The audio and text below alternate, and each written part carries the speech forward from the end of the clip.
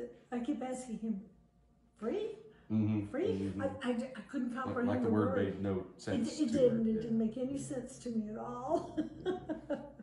when it happened and I started seeing what was happening on the news and, and just watching the Ukrainians having to flee their homes and, and uh, just this, this terrible situation that was happening to them, um, I started to feel compelled that, you know, I needed to, to do something.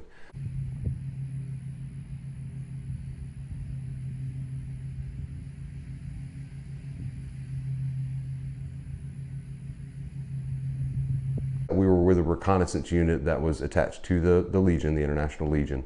Uh, we had gone out to do a recon mission, and uh, it didn't go the way that was planned. Um, Andy and I did end up being captured. Um, everyone else managed to make it back back to the base safe.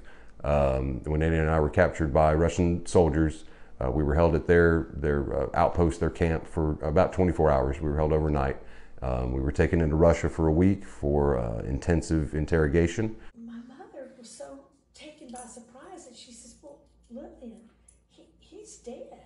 And she, I will never forget the anguish in her voice when she said, my, my daddy's dead, my daddy's dead. You gonna look at me? Yeah.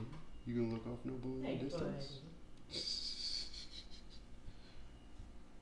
the mental and emotional torture of, of those last 24 hours in captivity, that, that was the worst. Yeah, right.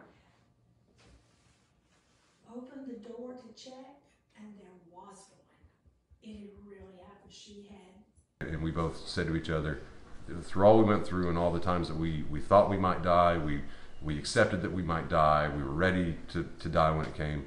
Uh, that ride was the only time that each of us independently prayed for death, just to get it over with. Sure, Jay. That's very pretty. Well, I guess pretty is not the word.